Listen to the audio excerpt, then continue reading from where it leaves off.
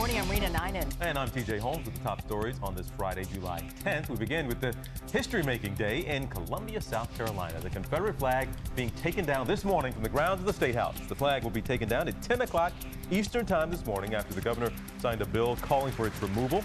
Protests against the flag, often used to symbolize white supremacy, gained momentum after the racially charged church massacre in Charleston. The head of the FBI says it's no accident there were no terror attacks in the U.S.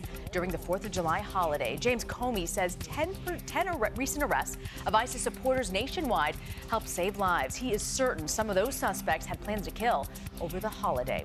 Police nationwide were warned to be extra vigilant. FDA changing the warning labels on popular non-prescription painkillers. FDA now says Advil, Motrin, and Aleve increase the risk of heart attack and stroke. That risk begins with the very first dose. The more you take and the longer you take it, the higher the risk will be. And there's a new opportunity to keep up with the Kardashians. Madame Tussauds in London has just unveiled a new wax figure of Kim Kardashian West. It's the first ever selfie taking statue there, so guests can rub shoulders with the reality star and hit the button on her phone to snap a selfie.